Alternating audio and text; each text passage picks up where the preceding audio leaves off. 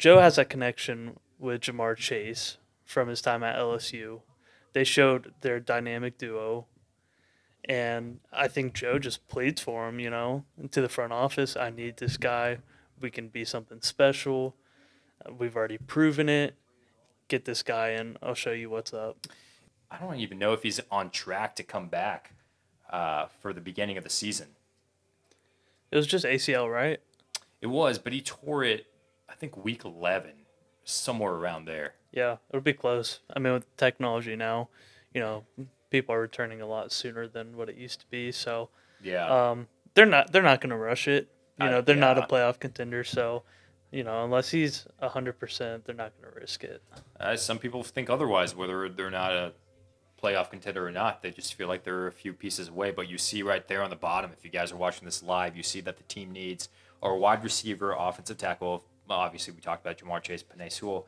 Tight end, if Kyle Pitts fell to them, I think they would have chosen him over Ja'Marr Chase personally.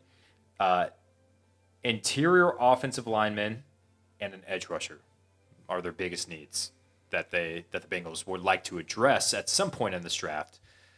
As expected, Ja'Marr Chase is now going to be a Cincinnati Bengal for the foreseeable future. Joe Burrow's former teammate from LSU will now make that transition into being a wide receiver for the Cincinnati Bengals. Mikey, what are your thoughts on Ja'Marr Chase? going Best dressed so far. You can just tell he's elite. He looks like Randy Moss. He's about to just go in there and cook. Agreed. He, he, he's definitely dressed really well. You know, this was my pick for the Bengals um, since day one.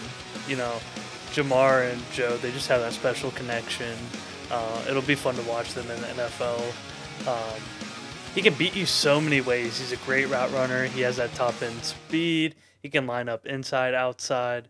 Uh, just a complete receiver. I mean, this draft is so much fun just because of the wide receiver class uh, between Smith, Chase, Waddle, uh, Bateman. I mean, the list goes down to about like seven guys that are, you know, first round talent. But I think Ja'Marr is just like on another level compared to those other guys.